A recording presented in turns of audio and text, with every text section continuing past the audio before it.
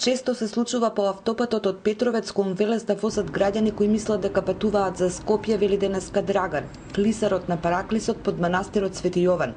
Тој е еден од неколкумината продавачи на свеки со работно време од 12 часа во киоскот по крепатот. Од Косово промашуваат, мислам дека они прават, не знам како ја промашуваат таблата кај аеродромот. Ама ние ги опатуваме до Велес и да се вратат назад преку Скопје. Драган се сеќава дека пред неколку години автомобил со француски регистарски таблици токму пред Параклицот сгрешил, завртал на патот и тргнал во спротивна насока, но тој и граѓаните почнале да викаат, а возачот ги сватил и веднаш се тргнал настрана.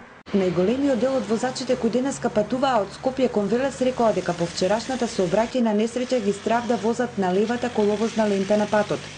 Па побезбедно е. Од што најмногу се плашите? Од случувањето вчера. Што се случи со косовскиот граѓанин. Па заради сите овие случаи што се случуваат инцидентите по автопатот, значи движење во спротивна насока од предпазливост возам по десна.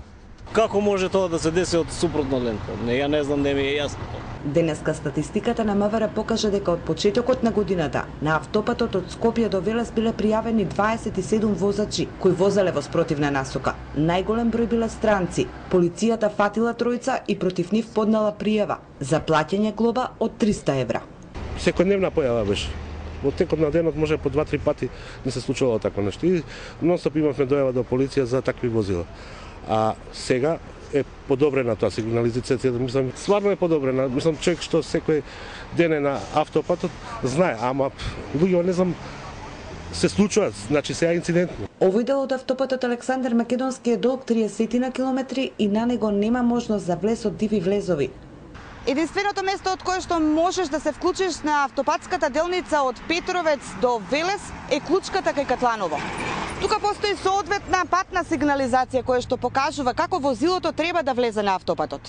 На повеќе места на патот има прописна сообраќајна сигнализација која покажува дека се вози кон Велес, бројот на километри, места за влез и излез од автопатот.